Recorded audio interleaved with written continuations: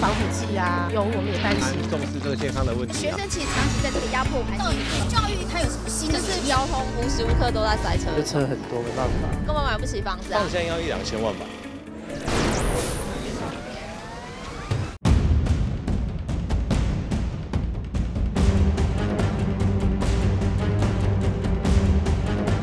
起诉书上面可以非常清楚看到，这个检察官花了非常大的篇幅在讲所谓马王政争，甚至从呃他去写了，就是说马英九担任呃还没有担任主席的时候，他跟王金平院长曾经有一起竞争过党主席，连这个部分他都把它写进去。那可见的是，希望透过这个去讲说，呃马英九的所作所为全部都是为了所谓要斗争王金平而去做的处理。那他这样子当然有泄密的一个问题，但实际上这个。跟我们呃了解的事实完全不符。马王政争这个事情，对国民党来讲当然是一个重大的伤害了哈。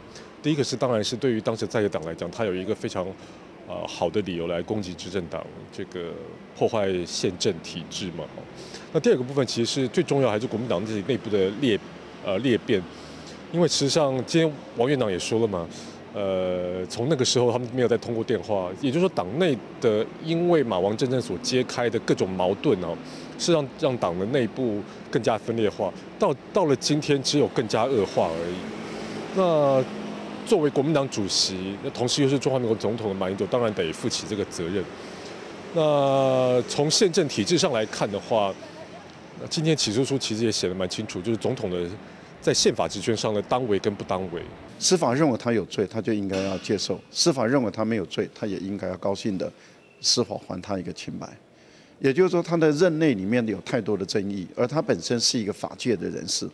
一个法界的人士会有这么多的法的争议里面，那是不是他在做决策，或是在做决定，或是在行事为人方面，他有一些问题存在？法理情嘛，不是情理法。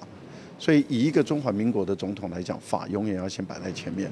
那么，更何况他是一个没有人情的人，哦，大家也都知道他是一个没有人情的人，所以帮跟他共事过的人，绝大部分离开他了以后，都对他不满。王金平是没有敌人，啊，这个马英九是没有朋友。那为什么会没有朋友？因为他就是什么事情都太计较，你就没有朋友了啊。因为他总是保护他自己。国民党的两大天王就是内斗了，内斗大家就让外界感觉到不是很好，也让国民党整个元气大伤嘛。后来王金平用加处分的方式保留自己党籍，啊，那后来又发生了太阳花学运，太阳花学运王金平的角色也蛮蛮暧昧的啦，啊，所以外界也认为说，哎，这场运动王金平是不是也扮演某种角色？但是这个潘朵拉盒子一掀开之后，从基层党员然后到各级的公职，其实大家等于各自选边站，那各自拿对方来来攻击嘛，哦，那尤其是党内其实对王院长所代表的本土派其实是非常强烈的一些攻击。